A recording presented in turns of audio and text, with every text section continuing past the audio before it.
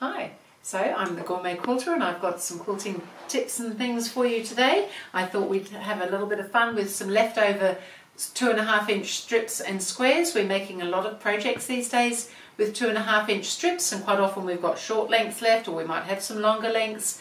We might have enough to get squares out of. So I've gone ahead, I've cut some of my slightly longer pieces into some lengths that are six and a half inches long. So they're two and a half inch wide strips. These a six and a half inch long. So I've gone ahead and cut some.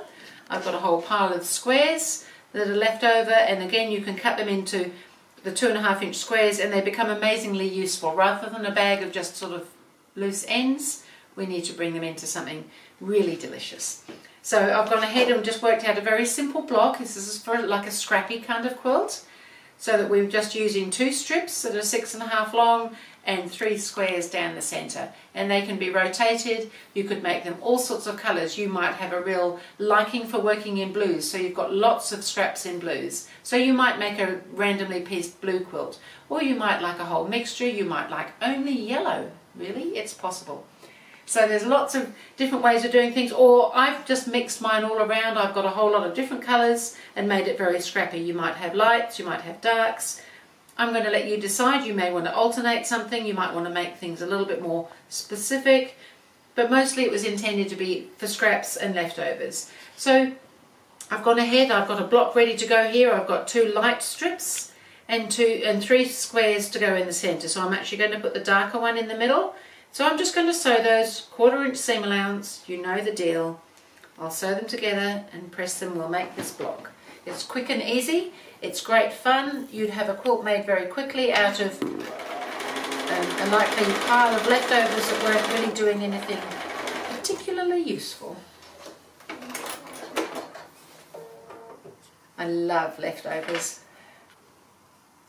Okay, so I've done one seam. I'm going to pop the other one on the other side because I want that darker one as my middle.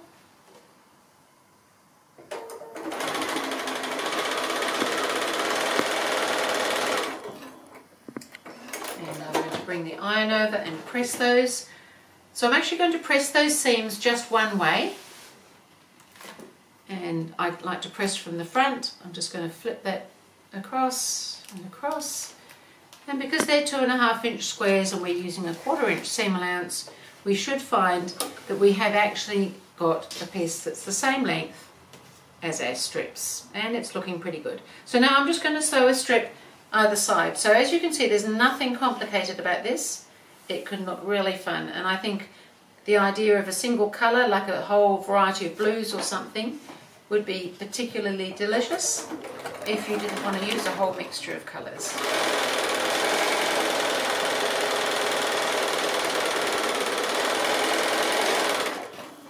or you might have two colorways that you like, so mix the two. It just goes on and on, the endless possibilities of leftovers.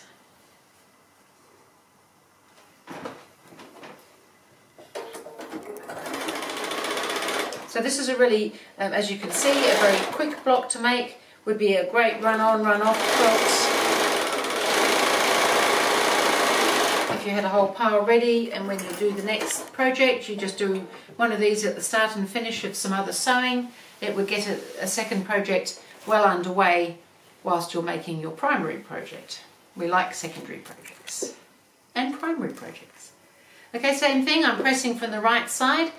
The, the seams go down and it's best to press those seams both into the strips because the seams here make it slightly more bulky so you want to do it that way. So we have now made very quickly a six inch block or six and a half it measures. Um, so it'll be six inch when it's sewn into something. So I've now made two of those and I'm obviously liking the greens, but I've made a few more and I've done a whole random color placement here so that you can see that some have got light strips, some are just sort of all already orange colors here, some are more green. We've got lights, darks, brights, not so brights, pretty much anything you can think of and I personally think that that's kind of a fun quilt just as it is.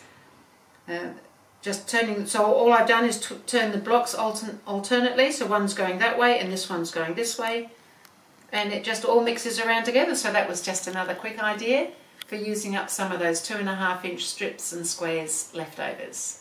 Thank you.